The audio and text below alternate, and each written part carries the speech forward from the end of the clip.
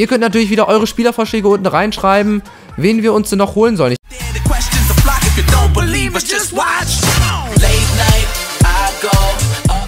Hallo und herzlich willkommen zu einer neuen Folge von Leicester City FIFA 16. Das klang ein bisschen blöd, aber okay, zu meiner Leicester City Karriere. Wir haben heute nochmal einen richtigen Leckerbissen zum Abschluss der Hinrunde. Ja, wir spielen gegen die Tabellenführer, ihr seht das rechts. Wir spielen gegen Manchester City. Wir haben die Chance, den Rückstand auf drei Punkte zu verkürzen und dafür zu sorgen, wenn Chelsea gewinnt, dass Chelsea Herbstmeister wird. Ich weiß nicht, ob es das auch bei denen gibt in Wirklichkeit, dass sie auch einen Herbstmeister küren, aber ich denke mal nicht. So, wir spielen in weiß, wir spielen in dunkel. Ja, Manchester City bislang das Maß aller Dinge in der Premier League, haben aber ihren großen Vorsprung, den sie hatten, eigentlich verspielt. So, jetzt müssen wir mal gucken, ob wir vielleicht mal wechseln. Obwohl, nee, die meisten habe ich ja draußen gelassen. Gegen Liverpool haben wir ja leider nur 1-1 gespielt. Äh, 0-0 natürlich. 1-1, 0-0 haben wir da leider nur gespielt. So, wir bringen mal Amate rein. Der ist zurzeit richtig gut drauf. Vorne Vardy, ja, ist nicht ganz fit, aber den lassen wir mal. So, Oloa ist leider immer noch verletzt, ja. Der wird auch in der Hinrunde nicht mehr zurückkehren. Ansonsten Okazaki, nee. Ansonsten lassen wir die Aufstellung so, gehen mit der besten Aufstellung und mit der besten Mannschaft rein und schauen mal, wofür es reicht, ja. Wir haben uns stabilisiert, wie gesagt, in der Hinrunde. Waren am Anfang eher so, ja, so durchwachsen, haben dann mal ein Spiel gewonnen, dann haben wir auch mal zwei Spiele verloren, aber jetzt haben wir uns so stabilisiert. Wir haben die richtige Formation gefunden, ja, wir haben jetzt mit einem 4-3-1-2 spielen wir jetzt. Und zum Abschluss, wie gesagt, ein richtiger Leckerbissen zu Hause gegen den vielleicht Herbstmeister Manchester City. Auf geht's. Heute können wir uns beweisen. Heute können wir zeigen, ob wir oben mitspielen wollen, die Berechtigung haben, mitspie mitspielen zu dürfen. Aber ich, ich habe es ja auch schon, glaube ich, mal vor zwei Parts gesagt. Wenn wir so weiterspielen, ja, wenn wir die Leistung so zeigen, dann werden wir noch die, die nötigen Siege einfahren, um uns dann fürs internationale Geschäft zu qualifizieren, was uns ja mit Darmstadt erst in der zweiten Saison leider gelungen ist, wenn wir so weitermachen. Ne? Aber ich appelliere nur nochmal an die, an die erste Rückrunde mit Darmstadt. Da sahen wir auch fürchterlich aus. Haben es dann auch leider verpasst, ins internationale Geschäft einzusehen. Aber okay, das war Darmstadt. Jetzt ist Leicester. Jetzt ist Manchester City Time. Fernando, erster Fehlpass und der erste Schuss von Amate. Da hat er noch Zeit gehabt. Ah, bisschen überhasteter Abschluss wieder. Da hat er eigentlich noch Zeit gehabt zu gehen. Jetzt kommt Manchester City zum ersten Mal mit Raheem Sterling. Oh, richtig schneller Mann. Und De Bruyne. Ja, kennt man noch aus der Bundesliga, aus Wolfsburger Zeiten. De Bruyne, schöne Flanke, Achtung. Stellen ja mit dem besten Torschützen, glaube ich, Manchester City mit Yaya Touré, Fernandinho aufgepasst in die Mitte, das Klischee, Sterling schnell gespielt und Mares ist vor Wilfried Boni, glaube ich, da. Ne? Wilfried Boni müsste das sein. Jetzt die Ecke über De Bruyne. Achtung, hinten kommen wir nicht ran. Und Schmeichel, ja, ist er sich sehr sicher. Aber okay, wenn er das ist, wenn FIFA das so registriert hat, dass er sich sicher ist, dann ist das okay. So, Jetwei, Schlupp, Drinkwater. Mal gucken, wie sie im Mittelfeld oh, sich hinstellen. City, ob sie da schon zuschieben oder ob sie uns da ein paar Freiräume lassen. Ein paar Freiheiten. Jetzt erstmal Klischee. Achtung, auf der Außen sind sie sehr präsent momentan. Sterling auf der anderen Seite auf Navas. Da mussten wir dazwischen. Sehr schön. Fair. Zwar hart, aber fair. So, Schlupp. Und jetzt haben wir ein bisschen Platz. Da vorne ist Drinkwater. Ist zwar nicht der schnellste, aber macht das gut im Zweikampf. Wird er abgeräumt von Vincent Company. Ja, war leider kein Elfmeter. War auch fair im Zweikampf, muss man sagen. So, jetzt Jesus Navas. Ist ebenfalls schnell. Versucht vorbeizuziehen an Robert Huth. Schafft er nicht. Schafft er nicht. Robert Huth. Oh, Fehlpass. Achtung. Ganz ruhig, ganz ruhig, ganz ruhig. Oben sehen wir Huth, der das Ganze wieder gut macht.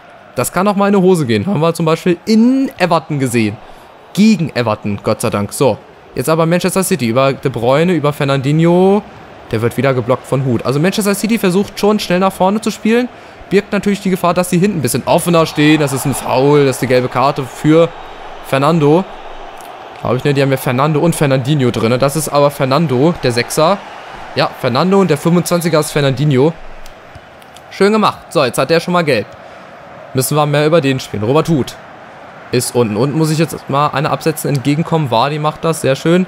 Gegen Clichy auf der Außen, Wadi. Jetzt ist er alleine. Jetzt müsste mal entgegenkommen. Hier zum Beispiel, Mares. Schön gemacht. Mares in der Mitte und da ist Danny Drinkwater, Caballero und da sitzt einer nach und wieder Caballero. Ich glaube, Ignat Schau war es, genau. Der Leihspieler von Manchester City, also spielt heute gegen seinen ja, gegen seine Zukunft vielleicht. Wenn wir dann nach zwei Jahren wieder zurückgeben müssen, leider. Ich glaube, wir haben den nur geliehen für zwei Jahre. So, Eckball, Mares. Wen findet er im Strafraum? Findet er Caballero? Ja, aber gibt nochmal einen Eckball, weil Caballero wohl zum Schluss dran war. So, Mares diesmal. Diesmal dreht er den rein. Da ist Danny Drinkwater. Glaube ich war es oder war die. Jetzt müssen wir aufpassen. Wilfried Boney. Oh, da müssen wir hinterherkommen. Der ist auch schnell. Boney. Achtung, der wird wahrscheinlich oben hinspielen. Nein, oder unten. Über De Bruyne und über Sterling. Aber Jetwa ist dazwischen stark. Hat sich auch wie Robert Huth in der gesamten Hinrunde gesteigert. Super Innenverteidiger. Du stimmen sich da wirklich immer sehr gut ab. Wenn der eine mit nach vorne geht, bleibt der andere hinten und so weiter und so fort. Das muss ja alles auch stimmen. So, Drinkwater. Simpson. Ah, jetzt hätten wir auf Drinkwater durchstecken müssen eigentlich. Haben wir leider verpasst. Jetzt nochmal Simpson. Auf Schlupp, außen auf Ngolo Kante. Auch mal wieder ein bisschen präsenter hier. Ngolo Kante, Amate. Da ist Drinkwater. Einmal angetäuscht und geschossen. Und wieder Caballero. Ja, wir sind die bessere Mannschaft.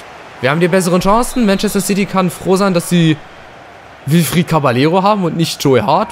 Wo sind die, die ganzen Spitzenkeeper? Haben die die alle verkauft? Das wundert mich. So, Mares, da ist Schlupp.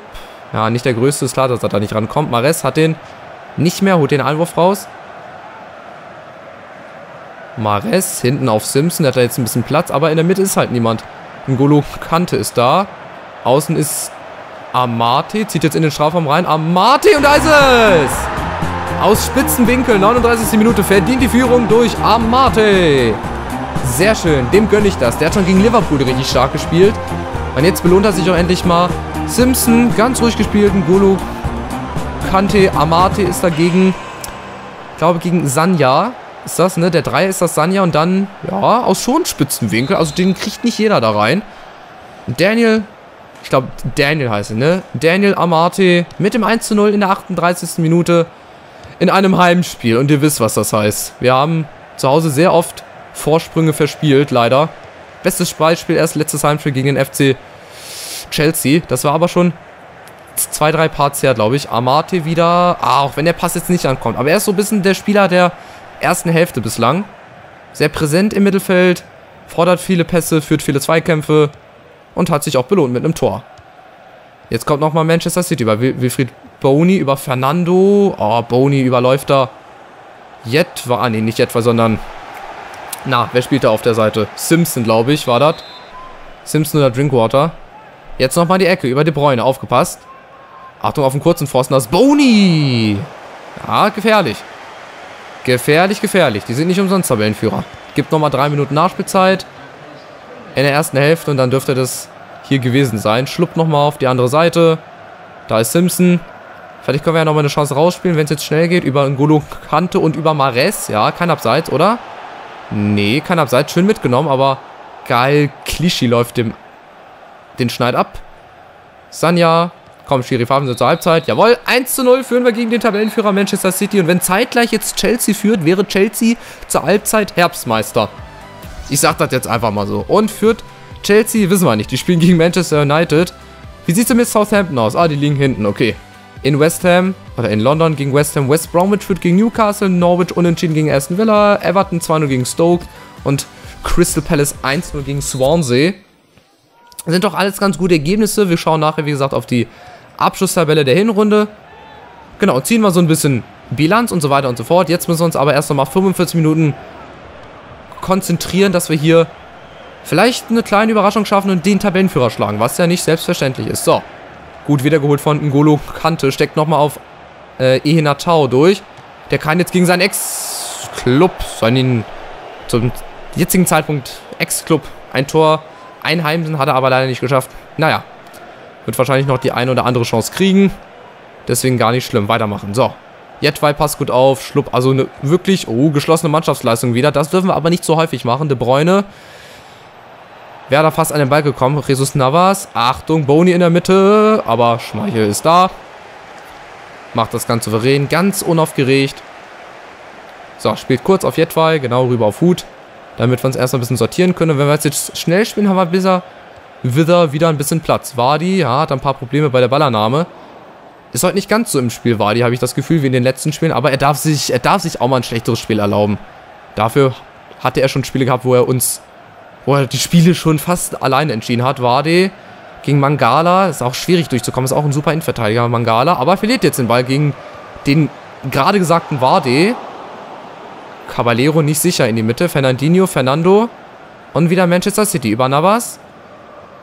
Schnell müssen wir eigentlich jetzt schon stören. Boni, Jetwei kommt dazwischen. Ah, oh, wieder ein bisschen Pech. Wilfried Boni kommt gut dazu. Und in der Mitte ist Simpson. Wichtig, dass er da war. Hinten waren nämlich zwei noch von Manchester City gewesen. So, und der Konter über Drinkwater, über Wadi und unten über Ehina Chao.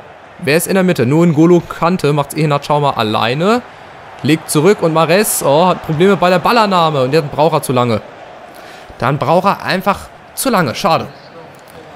Gibt den nächsten Eckball. Das kann Mares jetzt besser machen. Der kann das.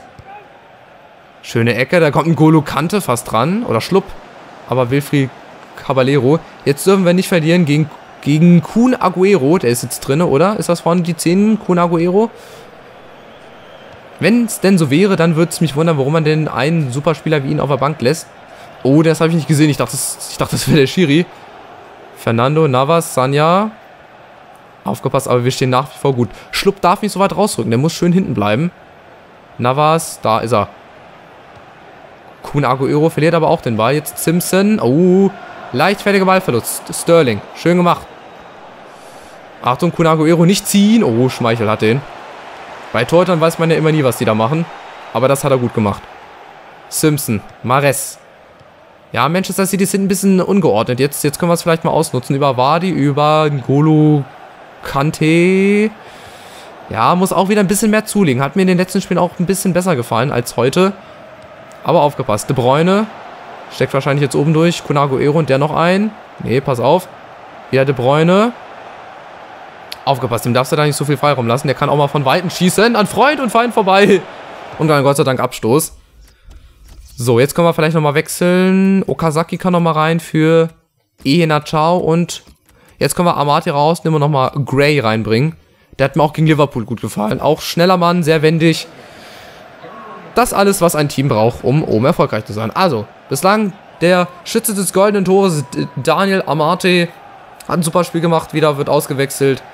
Mal gucken, ob sein Tor reicht zu den drei Punkten. So, den schlagen wir mal hinten raus. Da brauchen wir gar nicht hinten, hinten rumspielen. Okazaki gewinnt gleich mal einen Zweikampf, obwohl er nicht so groß ist. Gray, die beiden Neuen. Okazaki jetzt in der Mitte. Ngolo Kante ist ganz frei. Hinten ist Wadi. Ja, kontrolliert er erstmal. Schön gemacht. Und jetzt, jetzt einfach nur zurücklegen. Einfach nur, oh, zurücklegen. Aber da ist leider, steht Okazaki hinter dem Mitspieler. Vor dem Mitspieler musste stehen. Das ist eine gute Idee. So, Wadi. Schön gemacht. Ngolo Kante. Nee, Gray war das. Aber wäre auch, glaube ich, abseits gewesen. Jetzt spielen wir es wieder ein bisschen zu kompliziert. Manchester City bietet uns die Chancen nur an. Wir müssen sie... Ah, wir müssen sie einfach nur nutzen. Sie werden uns auf dem Silbertablett serviert, aber wir nutzen sie halt momentan leider nicht. So, Schlupp mit äh, Okazaki. Schöne Flanke nach hinten. Da wollte ich eigentlich gar nicht hin. Und es ist fast ein Eigentor. Es ist ein Eigentor. Es ist ein Eigentor von Fernandinho, glaube ich. Da lässt sich Okazaki feiern, aber er war es gar nicht. Er war es gar nicht, oder? Oh, Glitschi. Glitschi, Glitschi. So wie das Tor von Piplica damals, wo er den Ball auch einfach auf den Kopf hat prallen lassen. Es wird als Eigentor von Gal Glitschi gewertet. Ich weiß nicht, ob der Ball von Fernandinho vorher schon drin war, aber das war mal ein kurioses Eigentor. Also so ein kurioses Eigentor habe ich, glaube ich, noch nie gesehen. Ich habe schon ein paar Eigentore gesehen, wo der, wo der Torhüter dann den Ball angenommen hat und hinten reingelaufen ist ins Tor. Aber sowas? Okay, aber ein bisschen Glück brauchst du. Das Glück haben wir uns halt erarbeitet im Laufe der Hinrunde und das trägt jetzt Früchte. Also 2 zu 0 führen wir so 10 Minuten vor Schluss gegen Manchester City. Was, das hätte ja niemand gedacht. Das hätte niemand gedacht, dass wir nochmal so viel Gas geben. Aber noch ist es nicht vorbei. Aufgepasst. Nasri mit der Flanke. Findet aber nicht den richtigen Abnehmer. Gott sei Dank. Aber sie sind nochmal da mit Fernandinho. Mit Gal Clichy. Aber Simpson ist da gegen Kunaguero. Stark gemacht. So, sie stehen hinten sehr unsortiert. Wenn wir jetzt nochmal einen langen Ball schlagen, Mares auf Okazaki. Das wollte ich. Wenn er sich jetzt durchsetzen kann. Nee, kann er nicht. Aber er kriegt den Ball nochmal. Kriegt die zweite Chance gegen Company. Jetzt setzt er sich durch. Stark gemacht. Auch gegen den zweiten Okazaki. Oh, was war das denn? Elfmeter? Es gibt Elfmeter. Tatsächlich. Was ist denn jetzt los? Foul von Caballero? Das muss ich mir nochmal angucken. Hier haben wir das nochmal. Okazaki. Martinez ist mittlerweile drin. Zack, da wird der Ball einfach wegge... wegge geflogen oder ist der Ball weggeflogen, aber es war offensichtlich ein Foul. von Willi Caballero an Okazaki. Und jetzt haben wir die Chance sogar auf 3 zu 0 zu stellen. Durch Mares. Wir haben ja schon leider einen Elfmeter verschossen. Mares gegen Willi Caballero. Nachspielzeit. Den macht er souverän. 3-0. 3 zu 0 fegen wir hier den Tabellenführer aus dem Stadion. Zum Ende der Hinrunde, wie gesagt, ein echter Leckerbissen. Habe ich euch versprochen. Ihr habt ein Leckerbissen bekommen. 3 zu 0. 3 zu 0. Nicht schlecht. Willi Caballero war zwar in der richtigen Ecke, aber unten war er. Und da wäre er so oder so nicht rangekommen, glaube ich. Also auch Riyad Mahrez, viertes Tor, hat sich auch gesteigert, wie die ganze Mannschaft. Wie gesagt, am Anfang hatten wir da große Probleme, spielerisch irgendwie die richtige Taktik zu finden. Aber dann haben wir uns zum richtigen Zeitpunkt gefangen, haben die nötigen Punkte gesammelt. Jetzt können wir uns auch mal im schlimmsten Fall ein paar Niederlagen leisten. Aguero! Schade, spielen wir doch nicht zu 0. 3 zu 1, aber viele Tore wieder für den neutralen Zuschauer. 3-1 nochmal, Kun Aguero verkürzt, aber das ist nur Ergebniskosmetik. Ja, hätte man auch verhindern können. Fernandinho mit der Flanke. Jedwai kommt nicht in den Zweikampf und ah, ein blödes Tor. Sieht immer blöd aus wie ein Tor, aber ich glaube, der ist unhaltbar. Weil der fliegt in so einem ungünstigen Winkel dann über den Torwart. Auf jeden Fall. Naja, letzte Aktion war das 3 zu 1. Hinrunde ist beendet. Wir schlagen den Tabellenführer, wie gesagt, mit 3 zu 1. Und wenn Chelsea jetzt auch nur einen Punkt holt, glaube ich, oder wenn sie gewinnen, sind sie Herbstmeister.